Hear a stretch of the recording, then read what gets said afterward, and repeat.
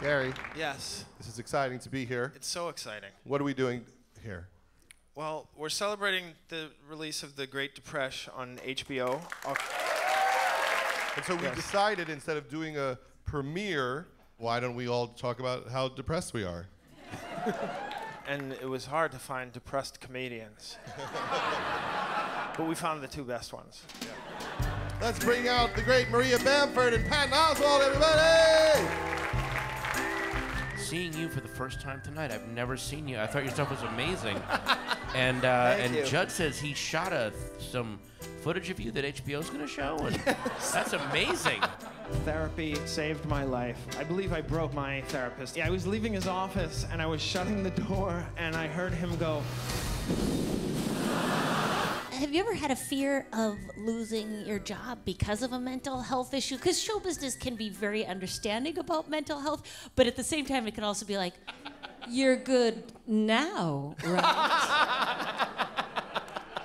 Do you see any of that, like w- when you're looking at your your mental, uh, whatever you're struggling with personally, and then do you sometimes see it out in macro cosmic form in the world sometimes? And it's Yes, I mean, for most of my life, I was forcing myself to be the aggressive guy and play contact sports and everything like that. And I really just, I, I just wanted to, to collage.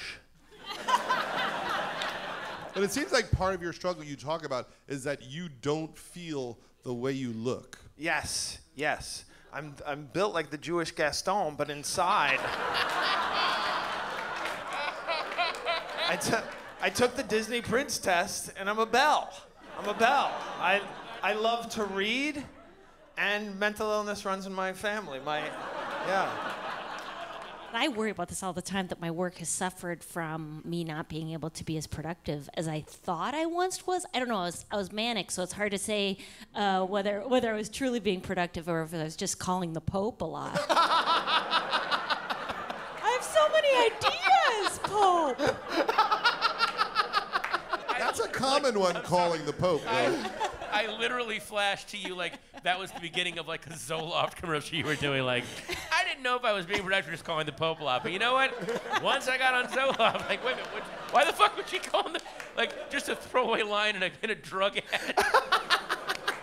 It's a short sighted language where the word for not wanting to live anymore is the same as, well, the Mets lost, or the, the yeah. You've, Like darkness yes. visible, and then Yes. there's like, mm, I just don't feel good today. One of my favorite jokes you did was about the people at work who you say you have depression and they say we're all depressed, but you made it, yeah, we all have cancer. You don't think I have cancer every morning? Did that ever make me feel empowered? What is the relationship like with uh, people who come to see you uh, when you talk about these issues? What do you want them to take from it? I want them to take hope that that because two and a half years ago, I was frequently googling painless suicides, and now I can't wait to do more shows, and and I just I'm I'm so grateful I stuck around for this.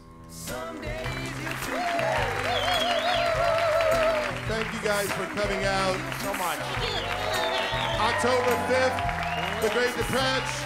Gary Gulman, Maria Bamford, Patton Oswalt. Thank you guys for coming out. Thank you.